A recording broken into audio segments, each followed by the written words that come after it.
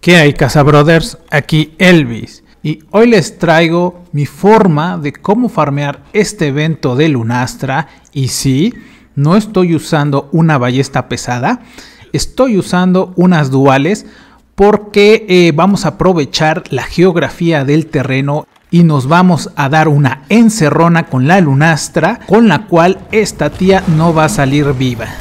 Eh, ¿Cuál es la estrategia? Básicamente es mantener a la lunastra en este tramito del escenario para que no se nos escape y podamos usar lo que es el baile demoníaco, lo que es la danza, esta que estamos haciendo, para que eh, Lunastra no pueda moverse mucho y todos nuestros golpes sean mucho más efectivos. ¿Vale? Eh, es importante que tomen nota de los primeros pasos de este, de este run porque como pudieron ver puso una bomba en medio de lo que son los cañones. También eh, le ordené a mi gatito que usara su cachivache, ese que distrae al monstruo. Es muy importante que lo hagan más o menos en medio del escenario porque eso va a distraer a la lunastra y nos va a dar la oportunidad de seguirle pegando. La estrategia es muy simple, señores. Es pegarle a la cabeza ablandarla, pegarle a las patas cuando no puedas pegarle a la cabeza y pegar, pegar y seguir pegando. Como pueden ver, eh, estamos aprovechando la geografía del lugar para que nos haga lo menos posible de daño. Y estamos usando casi casi tres joyas medicinales para que cuando se active lo que es la armadura de Safiyiva, la autocuración, básicamente nos cure casi todo eh, la energía que hayamos perdido. Entonces, esta lunastra nos va a durar menos de 5 minutos si peleamos en este lugar.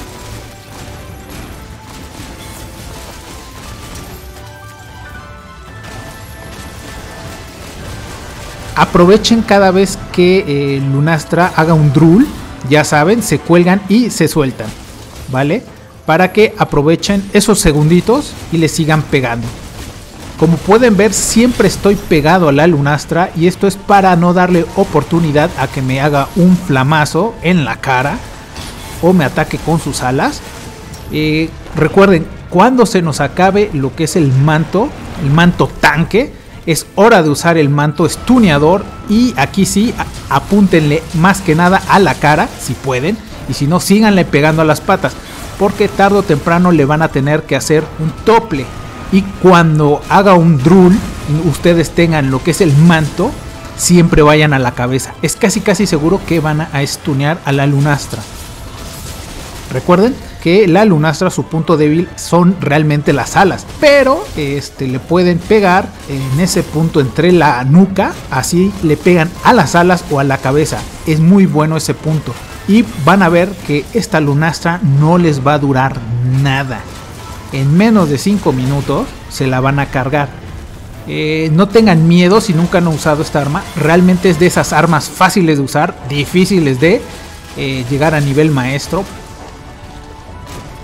Yo hice algunas pruebas con lo que fue eh, la build que usamos contra el Teostra y siento yo que es mejor usar duales en esta parte del escenario porque al estar encerrados con la lunastra casi todos nuestros golpes van a ser efectivos y porque además no vamos a perder tiempo persiguiendo a la lunastra. Además eh, nos estamos curando continuamente con nuestro chupado de vida del arma y con la autocuración bufeada de Safiyiva por esas joyas medicinales casi casi a nivel 3 cuando usamos el mantito.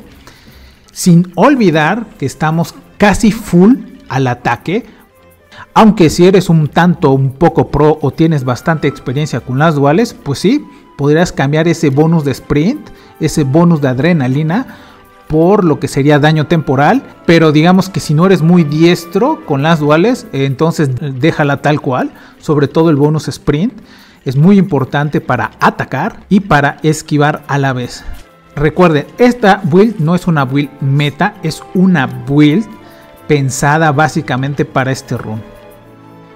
Y para todos aquellos que quieren saber cómo haría este run con las ballestas pesadas que hemos usado eh, anteriormente, bueno, pues haríamos lo siguiente. Para este run vamos a usar la misma build que usamos contra el Teostra y vamos a utilizar la misma técnica geográfica que usamos en el run de las duales. O sea, vamos a dejar nuestra mega bomba de barril, usamos al gatito para que saque su secuaz escudero, mientras llamamos a la lunastra para que se acerque y nos bufeamos precisamente para estar preparados eh, para lo que se viene. Después del rugido ponemos lo que es el manto de firmeza para pescarle la cabeza y mandarlo contra la pared. Después de ello eh, hay que ablandarle la cabeza para posteriormente volverle a tomar la cabeza y estrellarlo de nueva cuenta para que ahora sí, después de todo eso, podamos aplicarle una dosis, más bien un montón de dosis de disparo abanico. Aunque recuerden chicos que la verdadera debilidad de lo que es la lunastra son las alas, pero como ya le ablandamos la cholla, pues ahora sí que la cabeza es donde más daño le hacen. ¿Vale? Y definitivamente esta va a ser una pelea bastante difícil. Eh, no los voy a engañar. Por eso decidí hacer mejor este run con duales. Porque es difícil controlar a esta tipa. Si no le puedes hacer un tople eh, con esta arma. Entonces, este, definitivamente yo creo que deberías usar duales. O sea, el problema realmente de este run con esta ballesta pesada es que no cae la lunastra. Eh, porque no alcanzamos el daño suficiente para hacerle el tople a la cabeza, entonces eh, no la vamos a poder controlar, ¿vale? Ese es realmente el problema de este run. Por lo que, eh, digamos que si llegas a morir una o dos veces por run, definitivamente cámbiate las duales. Ahora bien, si utilizas la mira y aún así no logras dos toples por run, entonces sabes que no va a funcionar, carnal. va a ser más rápido que lo mates con las duales, ¿vale? Y eso sería todo, colegas cazadores. Este, suscríbanse para los que no se han suscrito. Activen la campanita. Y ahora sí, nos vemos hasta la próxima. Adiós.